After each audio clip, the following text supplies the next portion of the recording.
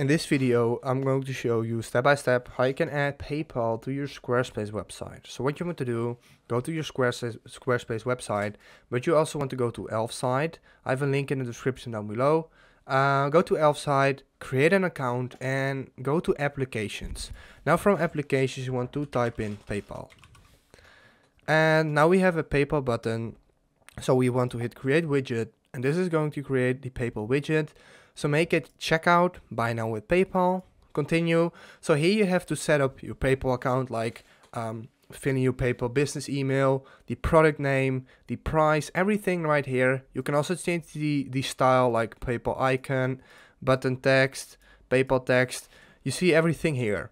Uh, the style here, like the color, all that stuff, you get the point. Then hit save and here it is. So now we want to select a plan. I'm going to do the light plan for now. Now we have to install this code. So Elfsight has a lot of different widgets by the way.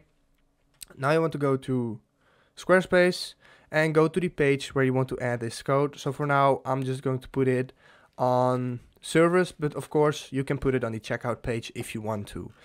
You want to make a new, um, hit on the plus icon I mean and then go to code, search for it, embed or code and now we want to get rid of this and paste in the code. And now if you hit done, save, you can see that the embedded code is there and now the PayPal checkout is here. If this helped you out, please leave a like, please subscribe and see you next time. Have a good day.